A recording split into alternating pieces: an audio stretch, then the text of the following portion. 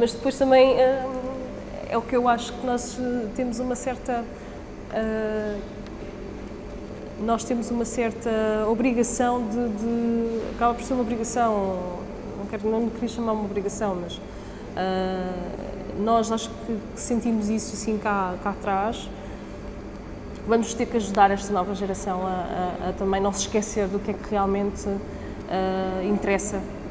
que não é o, o, digital, não é tudo digital, que, é, não é tudo consumível, não é? vamos ter que ser nós um bocadinho a educar, a passar essa educação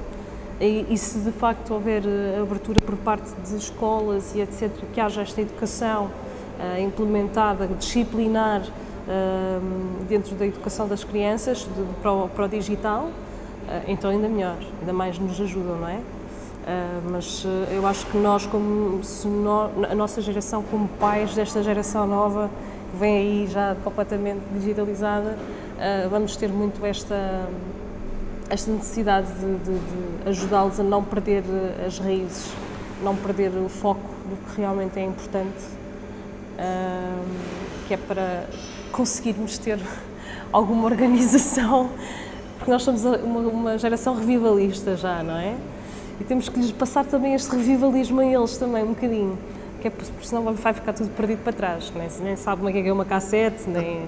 já ninguém sabe o que é que... Não, já, estás a ver, estou a simplificar, não, já, não, já nem falando da política, mas pensando numa cassete ou numa disquete, eles olham para nós com uma cara super inquiridora.